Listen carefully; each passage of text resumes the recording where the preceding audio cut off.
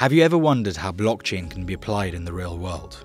At SmartKey, we wanted to take blockchain from the virtual and into the physical. The possibilities with blockchain are endless, but we wanted to start with something simple yet fundamental. That is how we developed a system to deploy Ethereum blockchain to save lives. It all started with a simple but global problem.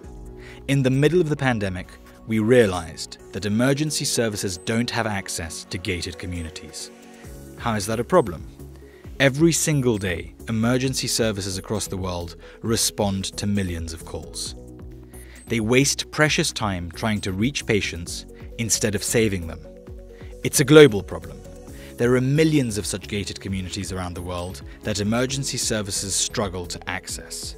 In short, the problem is the lack of a universal method of access in emergency situations.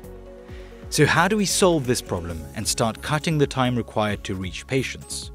Well, there is a public Ethereum blockchain network. A public and safe network available to everyone in the world. And we decided to use that network. We started by connecting SmartKey technology with the Ethereum network and we created a global standard of smart key access control available to everyone. So what happens next? Well, we developed an app which uses our smart key standard. What does the app do? Simple. It provides access to keys for areas linked to the Ethereum network. The app is used by emergency services. It's a universal technology which is easy to adopt.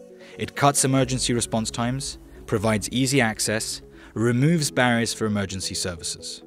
So far, our SmartKey technology has been implemented in the Warmia-Mazurian region in Poland, which counts 1.5 million inhabitants. But this is just the beginning.